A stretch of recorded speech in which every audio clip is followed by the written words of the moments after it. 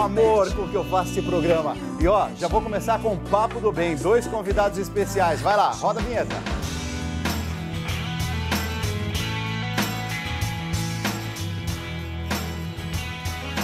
Padre Adalmiran Vasconcelos, pároco da paróquia de Nossa Senhora de Conceição de Farias Brito, no Ceará. Meu padre Isso. amado, seja muito bem-vindo.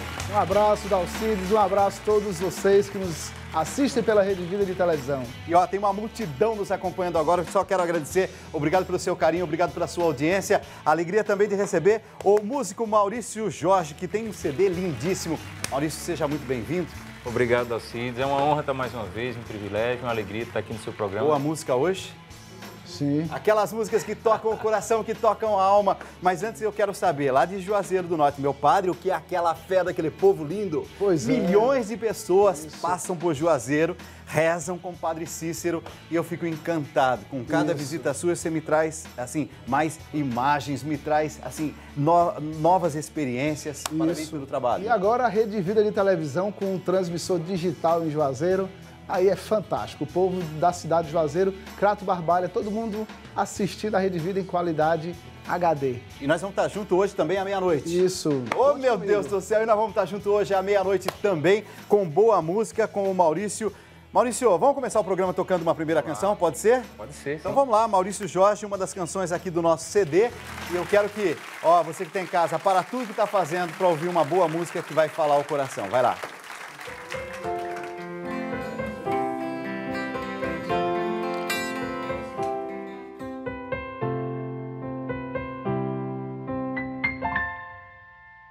Dia meu padrinho Cícero subiu a serra do Quicunca para rezar com o povo de fé na missão de evangelizar.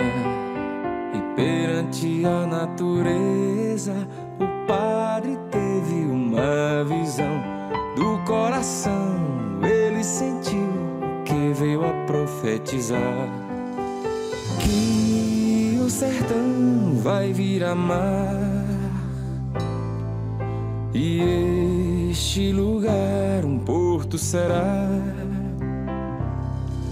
E um grande farol um dia existirá para o nosso mar da vida iluminar. O farol é meu porto seguro, não me deixa no escuro, vai me iluminar. O farol é de meu padre Cícero, por Jesus concebido, para o meu barco atracar. O farol é meu porto seguro, não me deixa no escuro, vai me iluminar. O farol é de meu padre Cícero, por Jesus concebido, para o meu barco atracar. Um dia meu padrinho Cícero subiu a serra do Quicunca para rezar com o povo de fé missão de evangelizar. E perante a natureza, o padre teve uma visão do coração. Ele sentiu o que veio a profetizar que o sertão vai vir a mar e este lugar um porto será grande farol. Um dia existirá para o nosso mar da vida iluminar. O farol é meu porto seguro, não me deixa no escuro, vai me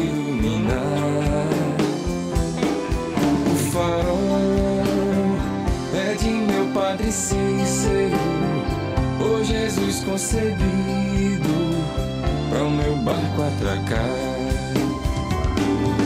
O farol é meu seguro, não me deixa no escuro, vai me iluminar.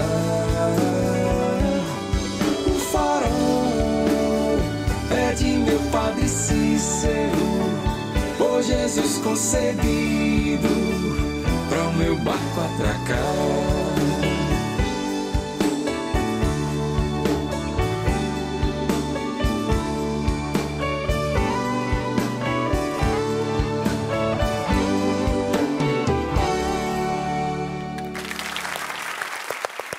Quero agradecer a presença desses dois irmãos queridos. Padre, a Deise de Maringá está escrevendo, está perguntando, abrindo o coração e precisando de uma palavra de amigo. Daqui a pouquinho, pode ser? Pode ser, Então sim. vamos lá. Daqui a pouquinho, Deise, você acabou de escrever aí de Maringá, daqui a pouquinho tem resposta para você. Dalcides, meu nome é Daisy, sou de Maringá, Paraná. Estou sempre pronta para ouvir todos dar conselhos, mas nunca alguém me pergunta: Daisy, está tudo bem? Eu fui ao médico porque estava com uma dor de cabeça há dias e recebi o diagnóstico de depressão. Eu moro sozinha e resolvo tudo na casa dos meus pais. Tenho que me fazer de forte, mesmo quando não estou. Me dê uma palavra de conforto.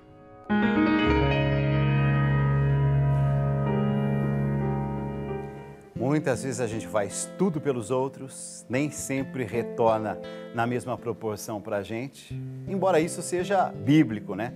Jesus mesmo é o exemplo primeiro disso, não é, meu padre? Isso. Ô, Daisy, eu acredito que você precisa, primeiramente, é, reconhecer que você precisa de ajuda. Quando a gente reconhece que a gente precisa de ajuda, a gente se reconhece que não é autossuficiente, que não é todo poderoso, você não é toda poderosa. Então, reconheça isso. Eu preciso de ajuda. Não tenha vergonha de pedir ajuda. E aí você vai pedir primeiramente ajuda a Deus.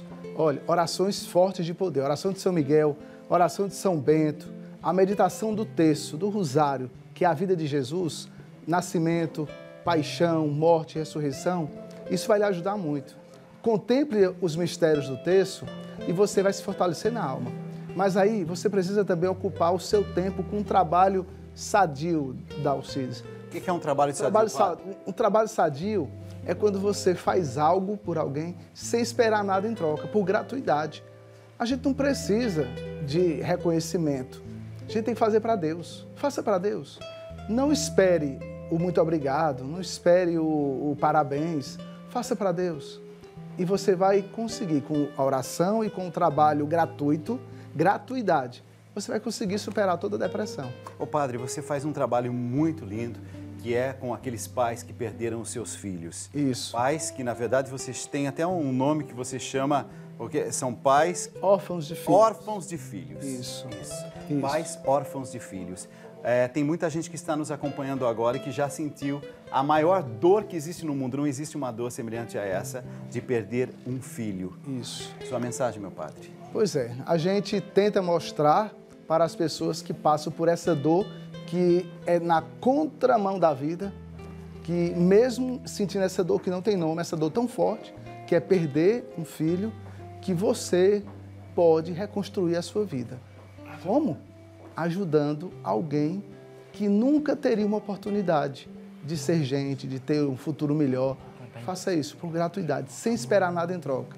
E você vai ver que a bênção de Deus vai se multiplicar e a ausência do filho que morreu não vai ser compensada, não vai ser preenchida, mas ela, ela vai ser consolada. Sabe que São João Bosco dizia assim: quando uma família perde um filho, o próprio Deus vem ocupar o lugar nessa família. O próprio Jesus ocupa o lugar nessa família. Isso. Ele se referia àqueles filhos que saem de casa, né? Aqueles filhos que muitas vezes, assim, por uma vocação sacerdotal, é, deixam a casa ou uma filha na vida religiosa, busca.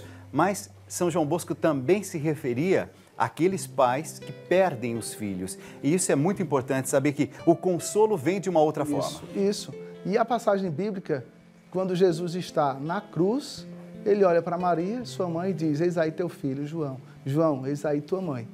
Deus vem em nosso socorro, não deixa ninguém órfão.